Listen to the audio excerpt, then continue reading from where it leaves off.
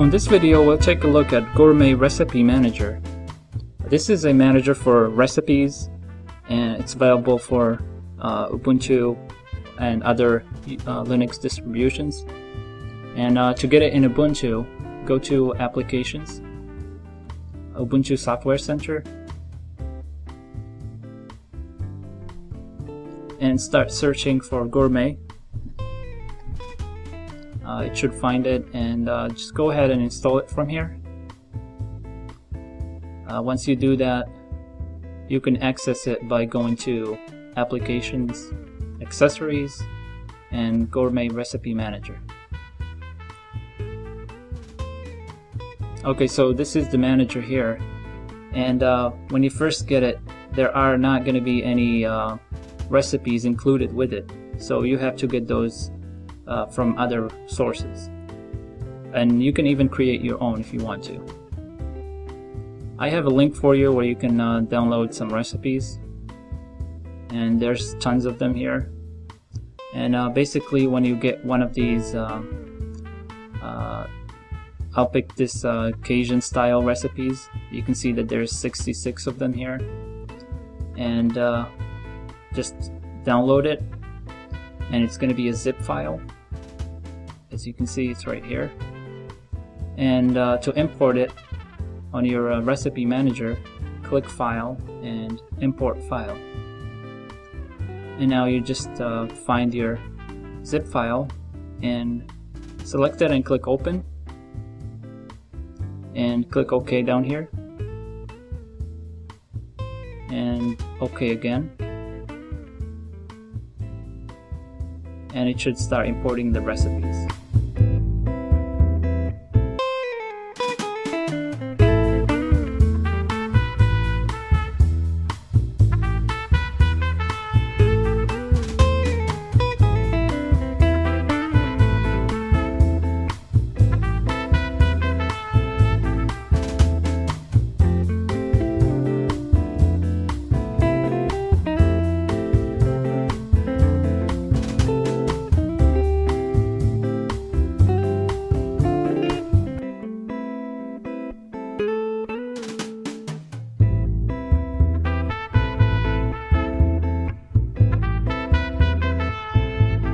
Okay, so once that's done, you can uh, click close, and as you can see, it added the recipes right here.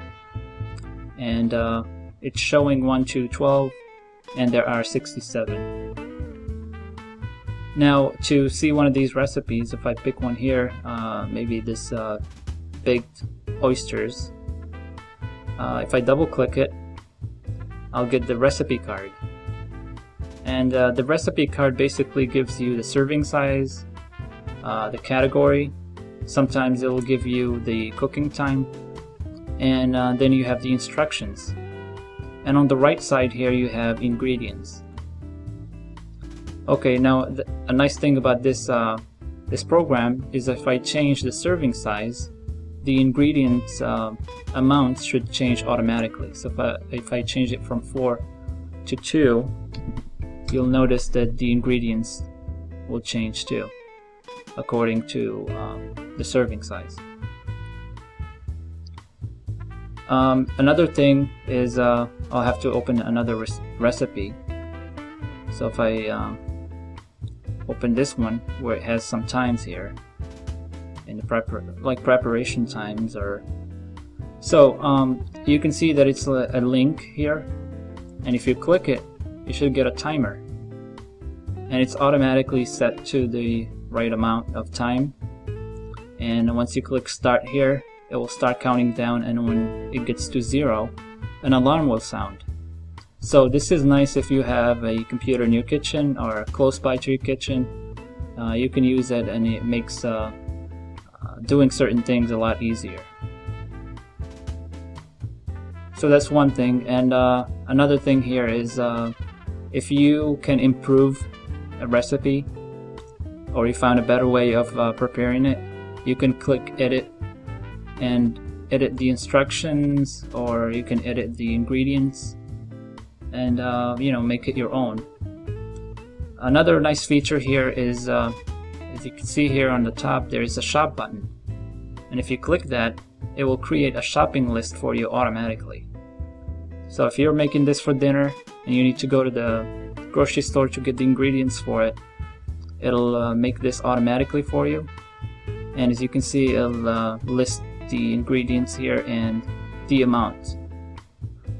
And uh, here you see there is an already have uh, most people have some salt. And uh, they will not need it. If the recipe calls for water too it will add it here. So you know people don't need to go to the grocery store to buy water so it will not include it in your list. Now you can add recipes from uh, other um, sources too. Uh, a good source is uh, the Food Network's website. And if you go to the Food Network's website and pick a recipe from there uh, let's see there's uh, basic Italian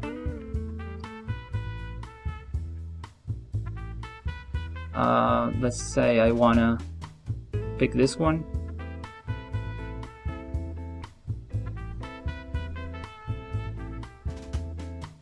I have to find one so I'll just pick one randomly. Okay so this is a recipe page right here. And uh, when you get to this page all you have to do is uh, copy the link. So copy that. Go back to your manager and go to file import web page and then just copy the link here and click OK. And just give it a couple seconds.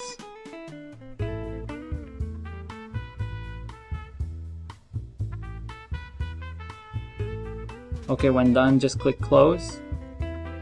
And you can edit some things here but you really don't have to. It automatically um, organizes the recipe to be displayed correctly on this uh, program. So just click OK at the bottom here.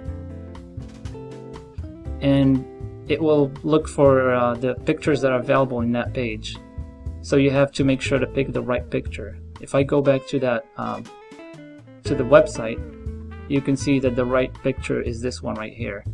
So I will go back to the manager and pick that picture and it's right there. So just select it, click OK, and the recipe is added.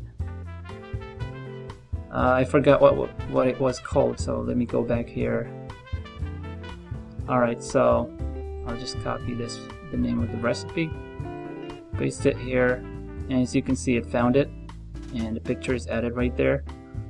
And uh, just like the other recipes, if you just double click it, it'll open the recipe card with the ingredients uh, the serving size, some more information and uh, instructions on how to make the recipe.